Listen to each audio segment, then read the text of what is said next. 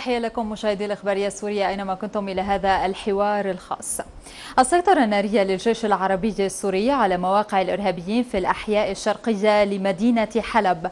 منعطف وتحول ميداني يغير المعادلات ويكسر التوازنات. فماذا عن الحل؟ هل بات الأفق مفتوحا باتجاه إحراز التقدم؟ وما مصير التفاهمات الروسية الأمريكية؟ وما هي خيارات داعمي الإرهاب؟ بعد خسارة أوراقهم. لمتابعة هذه التفاصيل يسعدنا أن نستضيف في الاستوديو الدكتور عبد القادر عزوز أستاذ العلاقات الدولية في جامعة دمشق. مرحبا بك دكتور عبد القادر. أهلا بك. الله مساءك ومساء جميع المشاهدين أهلا بك. مشاهدينا فاصل ونبدأ الحوار.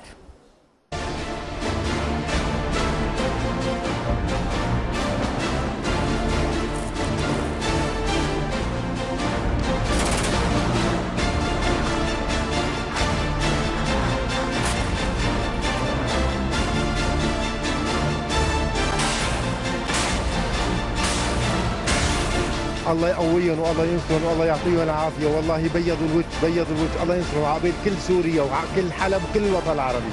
والله كلياتنا فرحنا. والله العظيم وخاصه سمعنا إنه الجيش اخذ أخذ بني زيد والله. والله العظيم والله. والنصر عن قريب ونرجع لبيوتنا.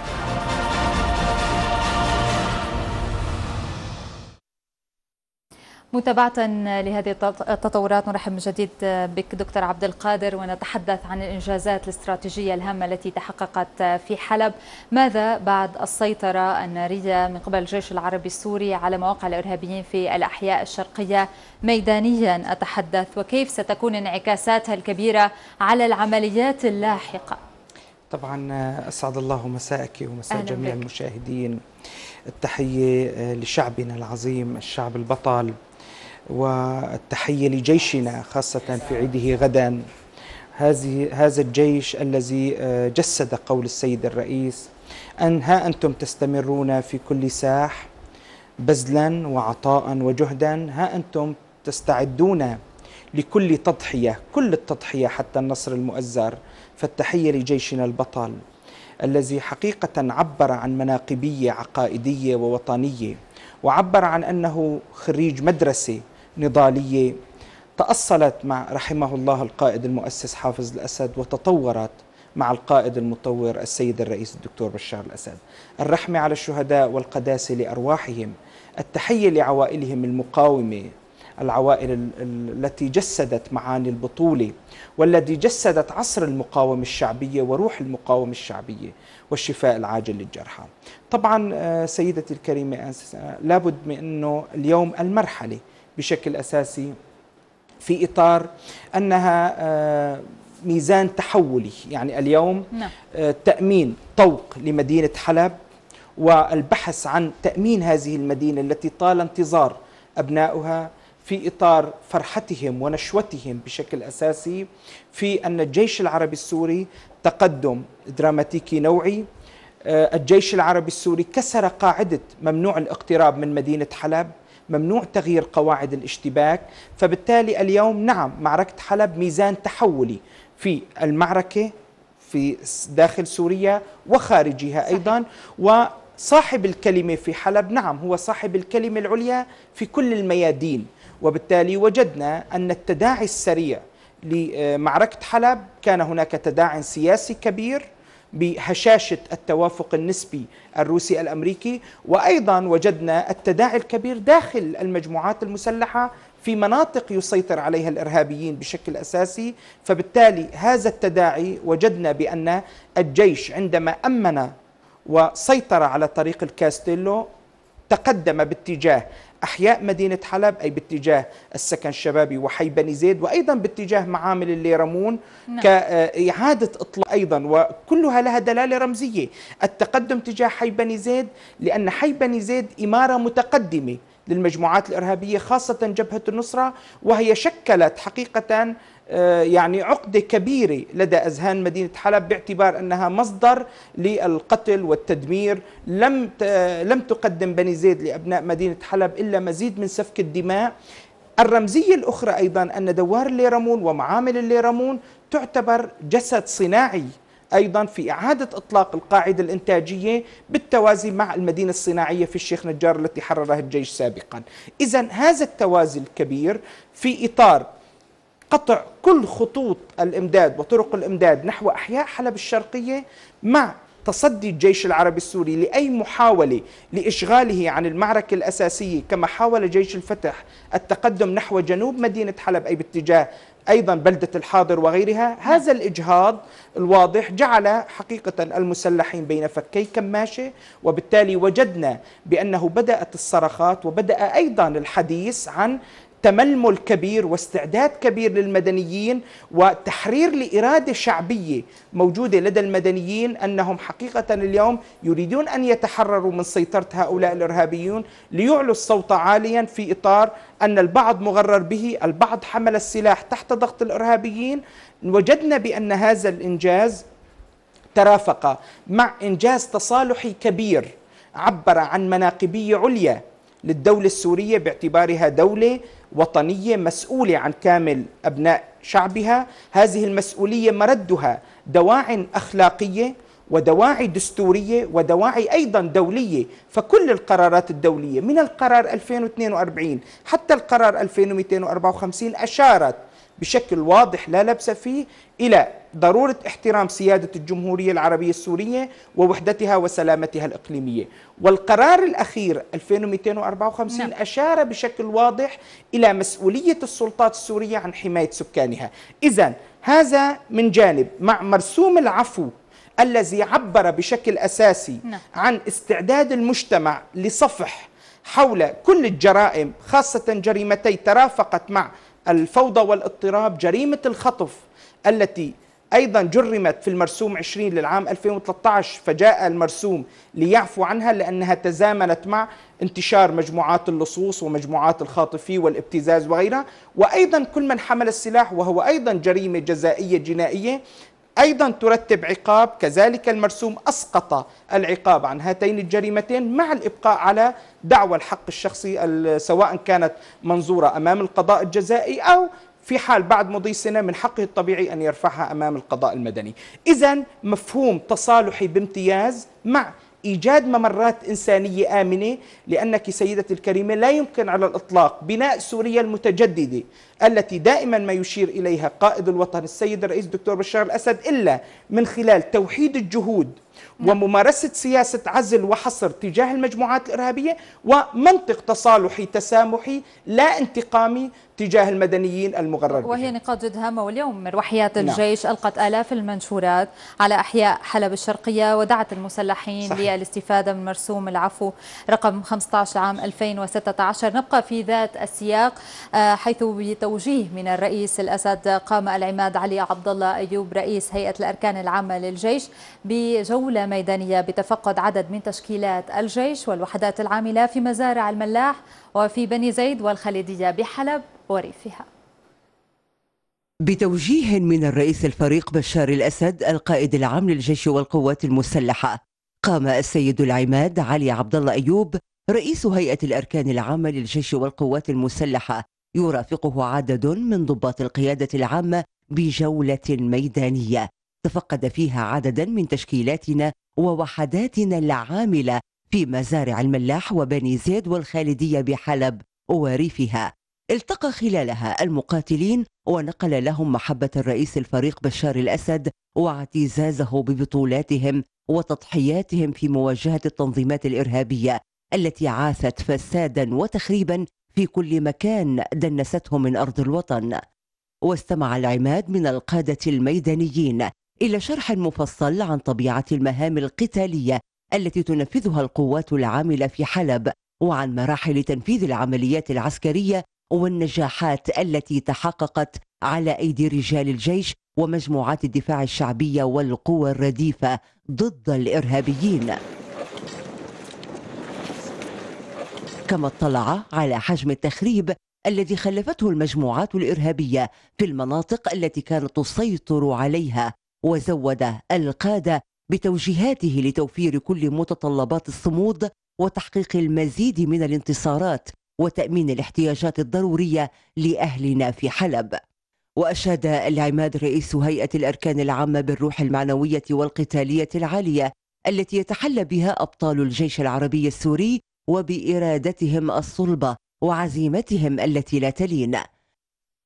وفي ختام جولته أكد العماد أن الجيش العربي السوري مصمم على مواصلة تنفيذ مهامه تجسيدا لواجباته الوطنية والدستورية في حماية الوطن وتوفير كل متطلبات الأمن والأمان لشعبنا السوري الذي ينتظر بفارغ الصبر المزيد من الانتصارات لإعادة الأمن والاستقرار إلى أرض سوريا الطاهرة وتخليصها من رجس الإرهاب. بدورهم أكد المقاتلون أنهم سيبقون أبناء سوريا البررة الذين يبذلون كل غال ونفيس كرم تضحيات الشهداء والجرحى وبطولاتهم وكرم أبناء الوطن الذين ينتظرون في كل ساعة بزوغ فجر الانتصار على العدوان. دكتور عبد القادر صدى هذا الإنجاز كيف يتردد إقليميا ودوليا خاصة أن حالة من الصدمة اليوم لدى داعمي الإرهاب عبر عنها الأمريكي وما هي خياراته بعد خسارته؟ طبعا سيدتي الكريمة يعني لا شك بأنه دائما في الحروب الميدان له آه، تأثير آه، كبير وهو عامل مهم جدا في إطار بأنه يصنع التوازنات ويضبطها ثم يعيد إنتاجها فتأتي الحالة السياسية لتترجم ذلك. اليوم هذا الإنجاز الميداني تكلله الدولة السورية وبإصرار على ضرورة أيضا المضي بإنجاز سياسي. هذا الإنجاز السياسي له شقين شق منهج ونهج تصالحي والنهج الحواري. النهج التصالحي كما أشرنا من خلال استعداد الدولة السورية لوجود ممرات إنسانية تسوية أوضاع المسلحين. وأنا فقط هنا يعني أشير نعم. بأن الدولة السورية تتوجه نحو المسلحين أي ليس من لديه فكر إرهابي سواء فكرا أو ممارسي يعني من قام بعمليات القتل والتدمير. لكن هناك شريحة موجودة لأن ليس كل المجموعات المسلحة هي بكج واحد. هناك مجموعات مدنية وجدت نفسها تحت ضغط الإرهابيين تحمل السلاح أو نتيجة إمبراطوريات إعلامية عملت منذ بداية العام 2011 و2012 عبر عملية تضليل وتهويل ممنهج فأصبحت تحمل السلاح. هؤلاء هم الشريحة المستهدفة في النهج التصالحي. وأيضا للتوضيح الدولة السورية لا تتحدث لا تفاوض. هؤلاء المسلحين على قضايا سياسية. المسألة عبارة عن تفاوض ميداني أمني. فقط وبالتالي لا عملية سياسية مع وجود السلاح. لأي ميليشيا كانت لأي مجموعة كانت. هذا فقط من أجل التوضيح. نعم. وأيضا الإنجاز السياسي عبر النهج الحواري.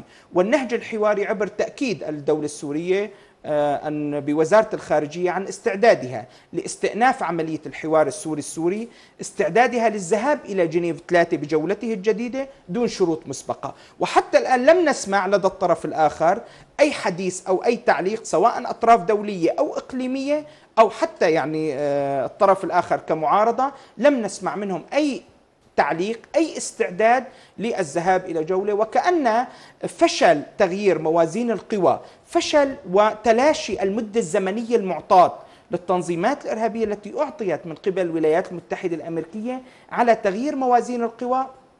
هو الذي اليوم نجده بأنه هم وكأنهم شهود تهافت نهجهم وبالتالي هم لا يريدون ذلك على الإطلاق. فنجد عملية تعطيل وانتظار مستجد ما قد يعمل على تغيير الأمور بشكل أساسي رغم بأن سفن الموت وبواخر الموت ما تزال تتقدم بشكل أساسي عبر إشراف أمريكي وتمويل خليجي ومنافذ حدودية أردنية وتركية نعم. بإعادة تسخير الطاقة الحربية لهؤلاء الإرهابيين بشكل أساسي.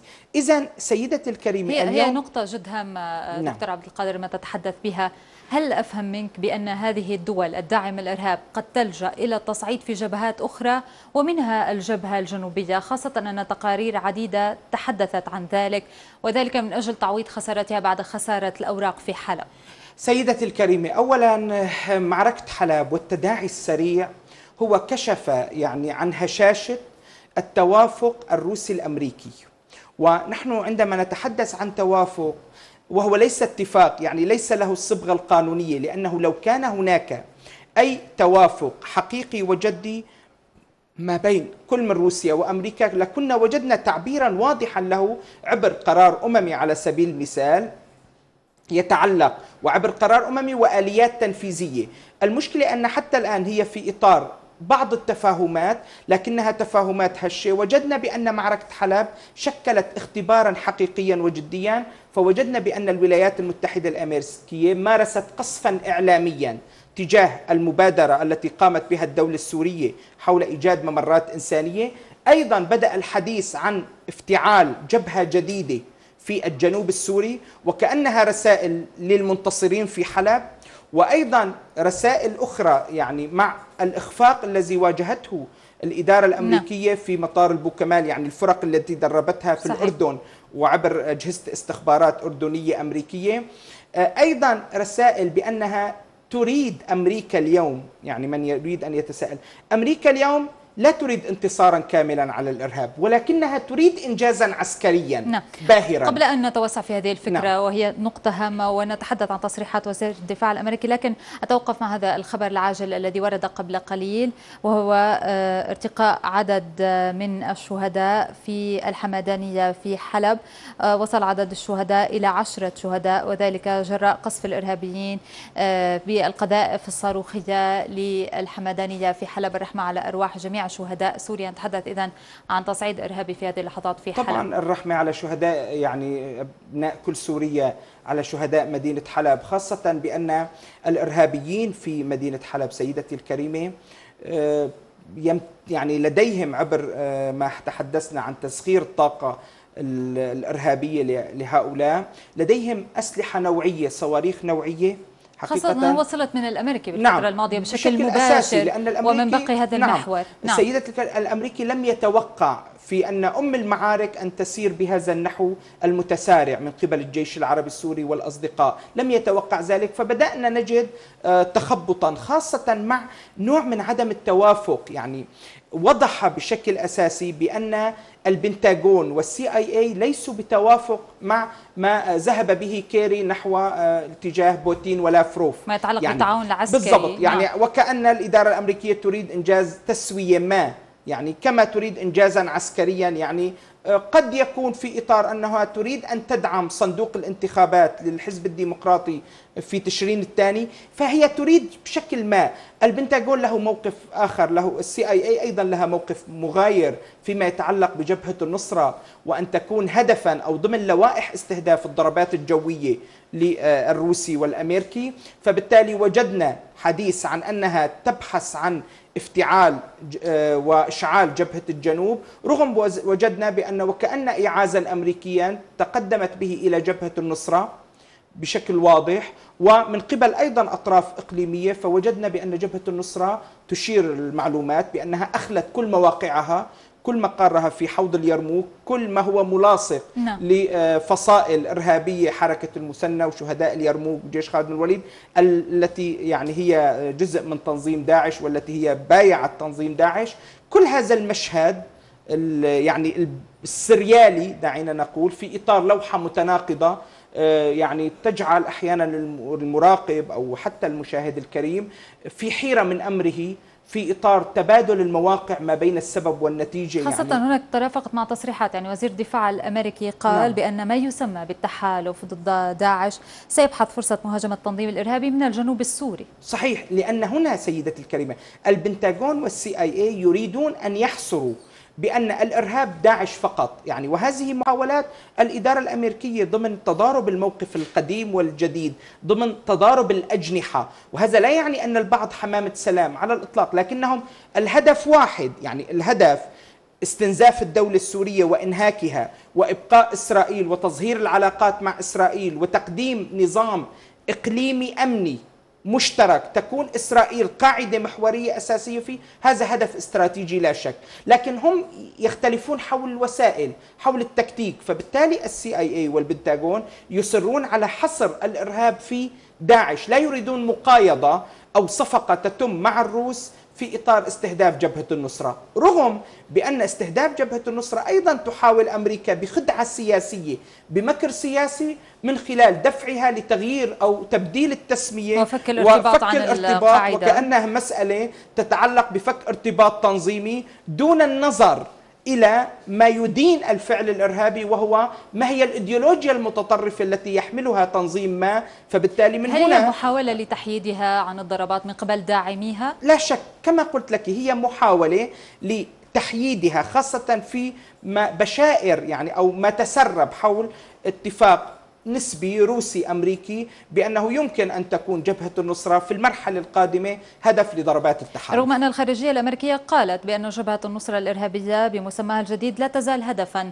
للقوات الأمريكية. آه، سيدتي الكريمة ليست هذه أول محاولة تعويم يعني أو محاولة تعمية أمام الرأي العام العالمي يعني محاولات عديدة لتلميع صورة هذه آه، التنظيمات بالنتيجة آه، نعم. جون كيري التقى مع الكثير من وهو من وجه بأن تذهب كثير من الألوية المنضوية تحت جبهة النصرة نحو جيش الفتح وأحرار الشام. يعني هي ليست محاولة جديدة. هذه محاولات مستمرة دائما الولايات المتحدة الأمريكية سيدتي الكريم مبدأها الأساسي فقط للتوضيح لجميع الأخوة المشاهدين نعم. أنها تريد أن تستعين بقوى لا شرعية لا حكومية. هكذا عملت في أفغانستان. أحيانا تقيم من خلالها هذه القوى الغير حكومية الغير رسمية الغير شرعية قوى محلية على سبيل المثال تدفعها تمنحها الشرعية فعندما تقوم مثلا بتطهير منطقة من داعش على سبيل المثال تثبت مواقعها فبالتالي تصبح مالكة له مسيطرة عليه وبالتالي هذا يعيق أي توافق سياسي قادم. هذا مبدأ وبالتالي حصان طروادة المستمر بالنسبة للولايات المتحدة الأمريكية دائما حاضر في الساحة السورية. ولماذا الجبهة الجنوبية؟ نحن نعلم دكتور عبد القادر طيلة الفترة الماضية السنوات الماضية كان هناك فشل كبير للتنظيمات الإرهابية ولداعميها كذلك في الجبهة نعم. الجنوبية. ونتذكر الفشل لما سمي أنذاك بعاصفة الجنوب. وهنا الف- مصيره الفشل. يعني هي فشلت كما قلت لك. يعني هي الآن تعاني من مشاكل في منبج. الآن تريد أن تقدم جيش سوريا الجديد ليخوض هو معركة الجنوب بشكل أساسي. وفي إطار يعني على مستوى وفشلت هذه معركة التجربة، منبج نعم. هناك صعوبات لأن الولايات المتحدة الأمريكية يعني القوى الروسية تمثلت بوجود حليف قوي على الأرض. الولايات المتحدة الأمريكية في إطار توزيع البيض على سلل متعددة فبالتالي هي دائما تواجه أحيانا مشكلة في إيجاد حلفاء على الأرض. وإيجاد حلفاء ودائما لديها سياسة بما أنها شركة consortium حرب. فدائما لديها سياسة الدمج والاستحواذ المستمر للفصائل الإرهابية لأحصنة طروادة المستمرين. فبالتالي دائما نجد تسميات جديدة مسميات جديدة دمج جديد أسماء جديدة تظهر دائما تتم بإشراف ورعاية أمريكية. نعم. إذا الأمريكي في هذه الحالة اليوم كيف سيتعاطى مع الواقع الجديد؟ نتحدث عن تغيير المعادلات في حلب. أعتقد بأن آه، يعني الأمور ليست بهذه البساطة يعني ضمن الواقعية السياسية ضمن الحكمة. آه، يجب أن نكون أكثر يقظة أكثر حذرا. الولايات المتحدة الأمريكية كما أشار السيد الرئيس الدكتور بشار الأسد في أحد لقاءاته قال آه، إنني على ثقة فقط بأن الولايات المتحدة الأمريكية لا تريد الخير لشعوب المنطقة. وبالتالي انطلاقا من هذا المبدأ يجب دائما أن نكون حذرين، هذا الحذر هذه اليقظة ليست ليست دعوة للاستسلام لأننا قديما واجهنا مشاريع أمريكا، يعني من واجه مشاريع النقطة الرابعة ومشاريع ملء الفراغ ومشاريع جون بايدن ومشاريع التقسيم لرالف بيتر وغيره، اذا هو يستطيع مواجهة أي مشاريع أمريكية قادمة، لكن اليقظة والحذر والوعي بشكل أساسي ومحاولة دائما بأن أمريكا اليوم فهمت واقعها بشكل جديد تتأرجح بين تيارين. يعني هناك تيار حتى في الإدارة الأمريكية يقول بأننا إذا خلال خمس سنوات لم نستطع إسقاط الدولة السورية فلنعيد تأهيلها فيما يتعلق بمحور المقاومة. في موقفها من المقاومة على سبيل المثال. يعني وهناك تيار آخر لا يطالب بمزيد من الاستنزاف وضرب حجر الرحى لمحور المقاومة وهي سوريا. ففي إطار هذا التأرجح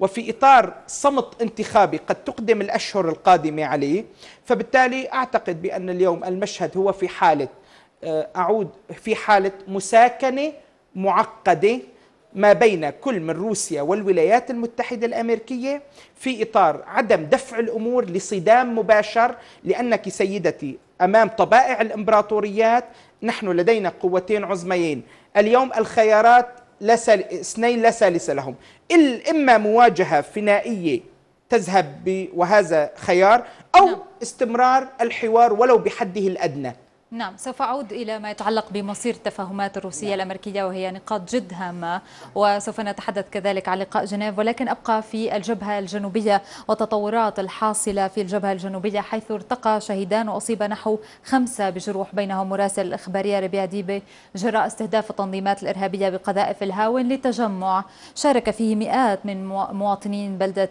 مثبين بريف درعا أثناء اجتماع لإجراء مصالحة محلية. متابعة لهذه التطورات في درعا ينضم إلينا مباشرة محافظ درعا الأستاذ محمد خالد الهنوس. تحية لك سيادة المحافظ. مساء الخير. أهلا بك. بداية آه، أهلا بك. بداية لو تضعنا بصورة ما جرى اليوم. أولا اليوم كان يوم كان اليوم عيد وطني حقيقة في درعا. كان يوم مصالحات وطنية وتعد من أكبر المصالحات جرت في درعا. طبعا هذه المصالحة جرت بعد عاصفة الجنوب وبعد الخسائر الكبيرة التي دفعها دفعتها المجموعات المسلحة عام 2015 والنصر الكبير للقوات المسلحة. وجاءت عملية سلام الجنوب. أيضا توجتها انتصارات حلب. انتصارات الانتصارات الاستراتيجية. فشل المشروع التركي. وجاءت أيضا تتويجا بعد عفو السيد الرئيس. هذه المصالحة يعد لها منذ فترة قريبة. هناك رغبة جامحة بعد عام 2015 في تغيير مزاج عام في درعا إذا استطعت أن تنظري إلى هذه المصالحة مو بالمئات بس بالآلاف أقول أنا. نعم. والمئات من ال... ال... الذين يرغبون في عملية تسوية أوضاعهم فسع... فعملوا جاهدين المسلحين بمنعهم من الوصول إلى المكان. طبعا على الغالب إذا انتبهتي على الصورة فهم يسيروا على الأقدام وفي القرى والأماكن. نعم. هم من القرى والبلدات الساخنة والكتلة الرئيسية من بلدة أمخل من الجهة الغربية وكفر الشمس وكفر ناسج وداعي وطفت. فتحركوا على الأقدام رغم أنف المسلحين وأتوا إلى مكان المصالحة.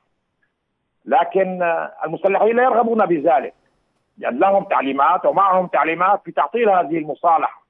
يعني في تعطيل هذه المصالحة يعني تعطيل عملية السلام في درعا. نحن اليوم في درعا ومنذ عام وأكثر من حديث لن يتجرأوا على عمل عسكري كبير. نعم بقذائف بيساو ممكن يرموا هون وهون. فكانت النتيجة رموا قذائف وتحركت الناس بشكل عشوائي واثنين شهداء وبحدود سبعة إلى ثمانية جرحى. نعم. خاصة سيادة المحافظ درعا نعم. شهدت في الأشهر الأخيرة العديد من المصالحات المحلية بعد تسليم عشرات المطلوبين أنفسهم وأسلحتهم وتسوية أوضاعهم لإعادة الاستقرار إلى العديد من القرى والبلدات. اليوم أكبرها. اليوم أكبرها. أقول بالآلاف.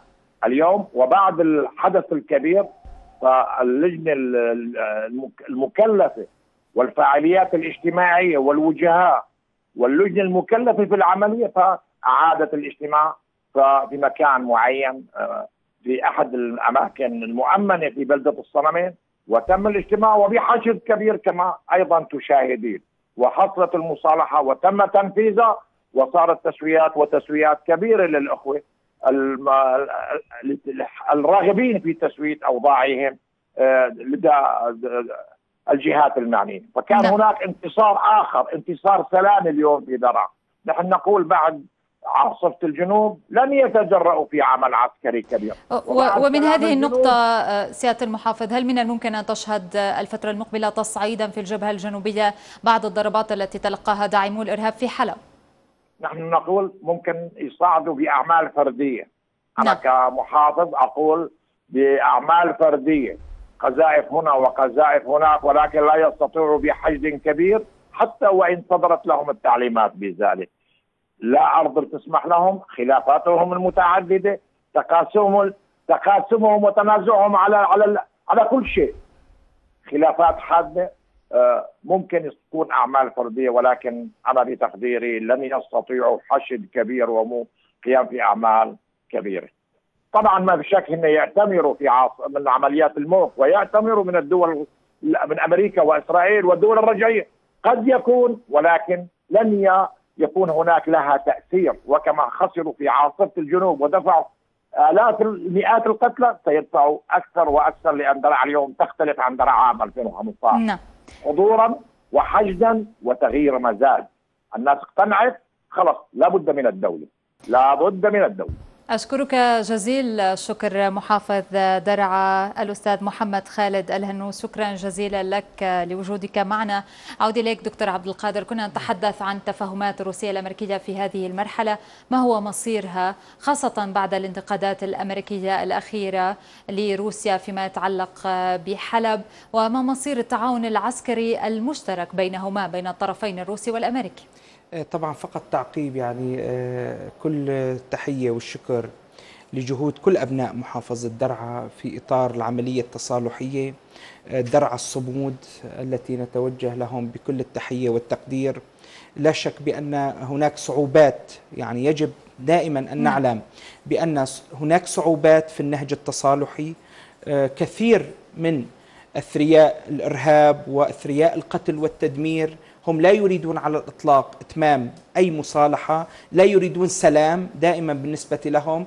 الحرب لها جاذبية أكبر كما رعاتهم الإقليميين وأيضا الولايات المتحدة الأمريكية. يعني كما قلت الولايات المتحدة الأمريكية كمقاول حرب أساسي هي لا تريد سلام للمنطقة على الإطلاق بل أن تذهب المنطقة بكل دولها نحو الجحيم بالنسبة لها أن تبقى أن يبقى الكيان الصهيوني أن تبقى إمدادات الطاقة وما عداها ضمن مهارة أمريكا في صناعة التفتت. والتفتيت والبلقنة المستمرة فهذا نهج أمريكي لم يتغير ولن يتغير بشكل عام. فبالتالي نعم هناك صعوبات ولكن عندما نوحد الجهود عندما أيضا آه، نستجيب لقول الله تعالى وتعاونوا على البر والتقوى. وأيضا عندما نستجيب لقوله ولا تطيعوا أمر المسرفين الذين يفسدون في الأرض ولا يصلحون. اذا لا طاعة لمسرف لا طاعة لفاسد على الإطلاق لا طاعة لقاتل. بشكل أساسي، فبالتالي اليوم هذا النهج نعم يقوي مناعتنا ويجب أن نستمر رغم كل الصعوبات، رغم كل الاستهداف، لكن أنا أعود وأقول لك لا يوجد مستقبل لسوريا المتجددة التي دائما ما يشير إليها. السيد الرئيس إلا بالنهج التصالحي، بنهج التسامح مع بعضنا البعض، بالتالي أن نعلو على الجراح، طبعا الإرهابيين لا مكان لهم بيننا على الإطلاق، لكن أي جريمة حمل سلاح أو غيرها إن لم تكن في إطار استعداد المجتمع للصفح واستعادة هذا المواطن ضمن الحياة الطبيعية فبالتالي حديث يعني حديثنا يبقى عبثيا عن أي مستقبل لسوريا ولأبنائنا وإعادة بناء لسوريا. هذه مسألة. المسألة الأخرى سيدتي الكريمة كما قلت لك آه، يوجد حوار روسي أمريكي لا توجد شراكة روسية أمريكية الروس على استعداد كامل لهذه الشراكة تحدثوا عنها بشكل دائم بشكل مستمر. آه، نوفو روسيا يعني روسيا الجديدة في عهد بوتين كانت على استعداد للشراكة. منذ أن أعلنت أمريكا حربها ضد الإرهاب منذ أحداث الحادي عشر من أيلول ولكن ثبت بأن الولايات المتحدة الأمريكية لا تريد شركاء هي تريد فقط أتباع. وبالتالي آه، كانت هناك نوع من حتى عندما سقط الاتحاد السوفيتي أرادته أمريكا سقوط مهين يقط بإهانة وبالتالي الإهانة لا يمكن أن يبتلعها القوميون الروس لا يمكن أن تبتلعها شعوب حية بشكل أساسي. فبالتالي من هنا استعادة حيوية الروس في بعدهم القومي وفي تطلعات أمنهم القومي. جعلت بوتين مثلا في 2006 يقول إن رفيقنا الذئب يعني الولايات المتحدة الأمريكية يأكل لوحده ولا يريد أيضا ولا يريد ولا يريد أن يستمع لأحد. إذا هذا منطق الشراكة أعادت أمريكا مد جسور الشراكة أيضا للولايات المتحدة الأمريكية في ملفات المنطقة. الخديعة التي جرت في القرار 1973 تجاه ليبيا أعاد نعم. اليقظة الروسية تجاه أمريكا. كذلك الأمر في عمل في العملية السياسية. انضمام سوريا إلى منظمة حظر الأسلحة الكيميائية. آه، محاولات أمريكا المستمرة أخذ روسيا احتوائها احتواء دبلوماسيا نسبيا وإبعادها عن دعاوي أطراف إقليمية مستعدة للتمويل ومستعدة لكل إمدادات لوجستية بأن تذهب الولايات المتحدة الأمريكية نحو عمل عسكري. هذا أيضا مسعى أمريكي ضمن منطق الشراكة. أيضا روسيا أبدت استعداد في منطق الشراكة بالتنسيق مع الدولة السورية فيما يتعلق بوقف الأعمال القتالية ما وجدناه بأنها كانت خدعة أمريكية نعم. إعادة تسخير الطاقة الحربية لهؤلاء الإرهابيين أخذ مهلة لالتقاط الأنفاس محاولة كسب اراض جديدة اذا من هنا كما قلت لك ومع ذلك ومع ذلك الحكمة السياسية لروسيا وبالتنسيق مع القيادة السورية في إطار مبدأ سد الذرائع في إطار مزيد من لجم اندفاع أمريكية حمقاء قد تكون. دائما هناك حوار روسي أمريكي لم يصل إلى مستوى الشراكة. نقاط التباين والاختلاف ليست فقط الملف السوري هناك تباين وتلاقي أيضا على كامل الجغرافيا على مستوى العالم على كامل الجغرافيا السياسية قد يكون هناك نوع من التباين مثلا في في المحيط الهادي قد يكون هناك نوع من التباين في المصالح الاقتصادية قد يكون هناك نوع من الشراكة فيما يتعلق في ملف عسكري على سبيل المثال. في الملف السوري في الملف السوري. خاصة في هذه المرحلة دكتور نعم. عبد القادر. كما ذكرنا كان هناك انتقادات أمريكية وتحدث وزير الخارجية الأمريكي جون كيري قال بأن ما حصل في حلب سيعرض التعاون بين الولايات المتحدة وروسيا للخطر. سيدتي الكريمة هذا في إطار آه، يعني نوع من آه، الصخب الإعلامي نوع من الضجيج خاصة آه، تحدث عن حالة من الصدمة كما نعم ذكرت قبل قليل نوع من الضجيج في, في إطار نعم. أيضا إرضاء. يعني لا تنسي سيدتي الكريمة دائما أن تصريحات مسؤولي الإدارة الأمريكية هي توجه رسائل. هناك رسائل أحيانا للهيئة الناخبة الأمريكية. للجسم الانتخابي الأمريكي للرأي العام الأمريكي. هناك أحيانا رسائل موجهة لدول إقليمية كأتباع ك يعني أتباع في المنطقة. هناك أحيانا رسائل إلى الدول الكبرى بشكل أساسي. فبالتالي هذه رسالة تحمل يعني هي تحمل غموض في الرسائل نعم. خاصة التوقيت والحديث عن يعني إعادة نظر في التعاون الروسي الأمريكي أعتقد بأن هذا الأمر كما قلت هو في إطار الصخب الإعلامي وتوجيه رسائل متناقضة سواء للرأي العام الأمريكي أو لأتباع إقليميين. هم أيضا كان امتعاضهم شديد من آه، جولة ماراثونية آه، لكيري مع لافروف وكيري مع بوتين نعم. وبعد تثبيت الطوق حول الإرهابيين في الأحياء الشرقية لمدينة حلب والإنجازات التي تحققت على الأرض سياسيا هل باتت الحلول أقرب؟ هل بات من الممكن الحديث عن تقدم في المسار السياسي في العملية السياسية في الفترة المقبلة؟ نعم آه، سيدتي الكريمة أولا آه، الدولة السورية مؤمنة بأن الشق الميداني مستمر في إطار مكافحة الإرهاب والشق السياسي أيضا مستمر. الحكمة تقول بأنك لا يمكن أن تخوض حربا للأبد فبالتالي أي إنجاز ميداني يجب أن تحميه بإنجاز سياسي دبلوماسي قوي. فبالتالي من هنا الحصانة؟ يعني لأن أحيانا قد يكون هناك نوع من الفيدباك لإنجاز ميداني ارتدادات معينة. تحصينه سياسيا هنا الحكمة وهنا أيضا البراعة السياسية. فبالتالي الدولة السورية بتجربتها في العلاقات الدولية تجربتها في التمرس باللعب مع الكبار قديما. في التعامل مع الأزمات الدولية دائما ما تريد أن تحصن هذا الإنجاز الميداني ببراعة سياسية. كما فعلت مثلا في حرب تشرين كان هناك إنجاز ميداني حصنته سياسيا بالحد الأدنى. بقي محورها ودورها دور محوري وأساسي. بينما على سبيل المثال مصر كان هناك إنجاز ميداني لكن بددته هزالة سياسية تمثلت ب إخراج مصر من معادلة آه، الصراع العربي الصهيوني عبر كامب ديفيد وغيرها. إذا اليوم أيضا المطلوب الاستمرار في هذا العمل بتحصين بتحصين هذا الإنجاز الميداني بإنجاز سياسي يتمثل بالاستمرار بالنهج التصالحي وبالنهج الحواري. النهج الحواري الحوار السوري السوري يجب أن نستمر فيه بشكل أساسي آه، سد كل ذريعة لتبديد كل فرصة لدى أطراف إقليمية. سيدتي الكريمة هناك الكثير من الأطراف الإقليمية والدولية التي لا يروق لها اجتماع السوريين على الإطلاق ولا أن تكون هناك عملية سياسية ولا أن يكون هناك جولات تفاوضية. على الإطلاق بل هم يريدون كما قلت لك لكن الهامش التي تملكه اليوم هذه الأطراف الإقليمية الداعمة للإرهاب م. للتعطيل خاصة نتحدث عن خسارة أوراقها في سوريا بعد الضربات التي تتلقاها التنظيمات الإرهابية سيدتي الكريمة آه، أولا نهجنا فيما يتعلق بالنهج الحواري بأنك في جولات جنيف تخوضين لعبة مزدوجة يعني لعبة أنت تفاوضين قوى عدوان على سوريا بشكل أساسي. لديها ممثلين موجودين في آه، طيف المعارضة بشكل أساسي. ضمن عدم استكمال هيكلة المعارضة ووفد المعارضة لأن يكون معارضة وطنية بامتياز فبالتالي هناك دخلاء. نعم. هؤلاء الدخلاء هم لسان حال قوى العدوان على سوريا. فأنت تفاوضين الميدان يحمي ويعزز ويضيف لك قوة تفاوضية كبيرة.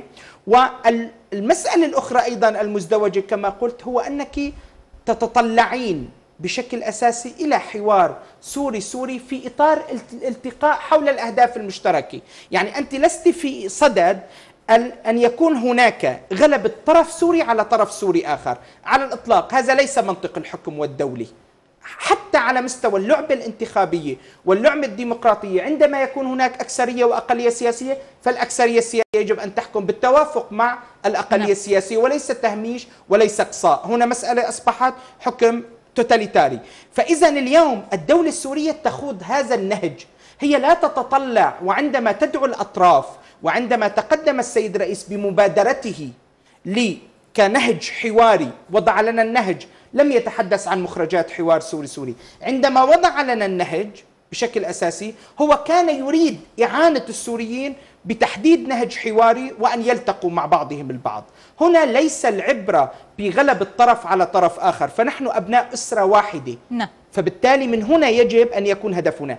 أما قوى العدوان على سوريا نعم كل إنجازات الميدان تخدم وتعزز قوة الدولة السورية أمام هؤلاء كدول وأمام أتباعهم كميليشيات إرهابية وإن عقد جنيف في نهاية آب كيف سيكون شكل هذه الجولة من حوار جنيف؟ هل ستكون بشكل جديد؟ هل ستكون بنتائج فعلية؟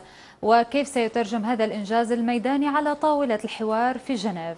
طبعا آه، يعني أنا أتوقع سيدتي الكريمة آه، أن يكون دور الميسر الدولي السيد ستيفان دي مستورا وأن يكون أيضا من خلال مراجعة تقوم بها قوى العدوان على سوريا أطراف إقليمية أطراف دولية في إطار تبدد أي شيء يتعلق بتغيير موازين القوى. إذا كانت المراهنة على ذلك وأن يكون هناك انخراط جدي ومسؤول من قبل الطرف الآخر الذي مارس تكتيك التعطيل لفترة طويلة أن يكون هناك مسؤولية عالية حتى على مستوى التصريحات في إطار الجولة القادمة أن نستفيد من الأخطاء السابقة التي شابت الجولات السابقة في عدم الاتفاق على مرجعية لا يختلف عليها أحد. أيضا يجب أن تكون لأن أي عملية تفاوضية هي عملية تراكمية، فأنت تحتاجين إلى قاعدة مرجعية لأنه إذا حدث أي انتكاسة في العملية التفاوضية تستطيع أن تعودي إليها وهي التي تصوب من جديد العملية التفاوضية، هذا جانب، الجانب الآخر يجب أن ننطلق باستراتيجية الحوار على أساس منطق الشراكة. إذا كنا كسوريين نتطلع إلى إعادة تنظيم المجال العام من جديد فلا مشكلة. لكن على أساس مبدأ الشراكة وليس الإقصاء وأيضا وفق مبدأ قبول الرأي الآخر وليس العزل والتطرف. يعني هذه كلها قيم أساسية واحترام مبدأ التعددية السياسية. إذا كلها قيم والاتفاق على توحيد الجهود في إطار مكافحة الإرهاب. إذا كل هذه العناوين هل, هل تحقيق ذلك ممكن في ظل المعطيات الحالية؟ وتحدثت عن التعطيل من قبل الأطراف الإقليمية الداعمة للإرهاب. سيدتي الكريمة هذا تحدي. الحوار السوري السوري هو معركة سياسية وبالتالي هو تحدي خاصة كما أعلم من حجم تأثير دول إقليمية ودول لا تريد كما قلت أعود لا تريد الخير لبلدنا. فبالتالي نعم نحن الشعب السوري مقبلين على تحدي. هذا التحدي فيه فرص وفيه مخاطر. الحكمة تقول السياسة تقول بأننا يجب أن نعمل على تعظيم والتقاط الإيجابيات والعمل على تلافي السلبيات. فبالتالي نعم هي تحدي كما قلت لك. آه، يجب أن نستمر فيها نعم. كما العملية التصالحية. لا يجب أن نستسلم لأي انتكاسة. يعني ليس من المبرر على الإطلاق عندما تجري انتكاسة. في عملية تصالحية بأي مدينة بأي قرية أن يكون ذلك مبررا لأن نقوم بتعطيل ذلك. بل يجب أن نستمر بالجهود. كما قلت إذا كنا نتطلع إلى بناء سوريا إلى إعادة بنائها. وأنا أشدد على إعادة البناء أكثر من مفهوم إعادة الإعمار. إعادة البناء هي جوهر. ألمانيا واليابان لم يتقدموا إلا بقدرتهم على إعادة البناء الإنسان. أما إعادة الإعمار فهذه الشركات قادرة بكل سهولة أن تعيد تدمير كل ما تعيد بناء كل ما دمرته الحرب. نعم. آه، أستاذ عبد. للأسف دكتور عبد القادر بأن وقتنا قد شارف على النهاية. بالنسبة للمرحلة المقبلة هل نتحدث عن زخم أكبر في الميدان على مختلف الجبهات؟ آه، طبعا. خاصة أن أن جبهات أخرى نتحدث عنها فيها إنجازات أيضا كريف دمشق. سيدتي الكريمة بالنتيجة الجيش العربي السوري هناك أكثر من 65 جبهة يواجه يعني فصائل إرهابية. آه، المشكلة. المشكلة بأن الجيش العربي السوري لا يواجه تنظيما إرهابيا واحدا. هو يواجه عشرات التنظيمات الإرهابية وهذه أيضا يجب أن نفهمها بشكل جيد.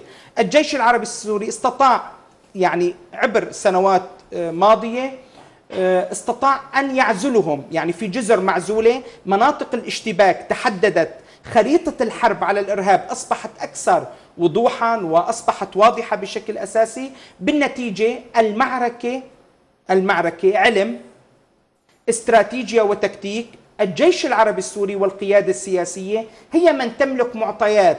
متى تتوقف؟ متى تندفع بقوة؟ متى تكون أقل تقدما؟ متى تقوم بتهدئة هنا؟ متى تقوم؟ هذه اعتبارات عسكرية ميدانية بحتة لديهم معطياتهم بشكل أساسي فبالتالي نتمنى لهم كل الخير نتمنى أن يبقى جيشنا كما توجه إلينا السيد الرئيس أن نزيد من تضافرنا في دعم هذا الجيش بكل ما نستطيع أيا يكن قدرتنا البعض يستطيع أن يقدم دعما معنويا دعما ماديا أيا يكن يجب أن نقف.